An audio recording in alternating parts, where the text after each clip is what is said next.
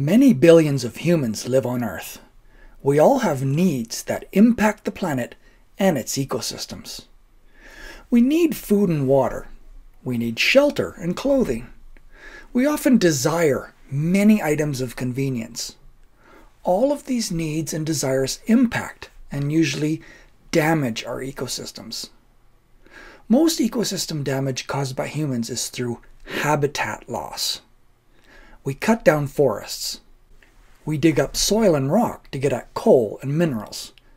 We divert and block streams and rivers for hydroelectric dams. Our requirements for more and more space damages ecosystems. We used to believe the Earth was so big and that small amounts of damage would not affect the planet. Now we understand ecosystems better. Environmental impact studies are often helpful and some habitat protection is taking place. But habitat loss is still a huge and growing factor in ecosystem destruction. The use of chemicals and the release of pollutants also damages ecosystems. Unfortunately, damage is often allowed to occur before harmful effects of chemicals show up in the ecosystems. Coincidentally, this often damages human health. As an example, plastics have been produced for about 70 years. Very little plastic is actually recycled, and large amounts of plastic now pollute land and oceans. Recent studies show cell-damaging microplastics are found in the blood of 80% of people tested. Many machines release pollutants into ecosystems. These include chemicals and exhaust from vehicles and factories. It can also include heat, sound, or other products that damage or disturb ecosystems.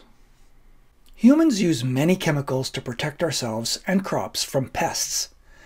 These poisons kill pests, but also have unintended damaging effects on other living things in the ecosystem.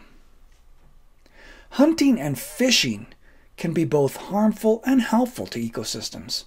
Humans have overhunted many species, until they became extinct. This was done for food, for medicine, for jewelry, or even just for sport.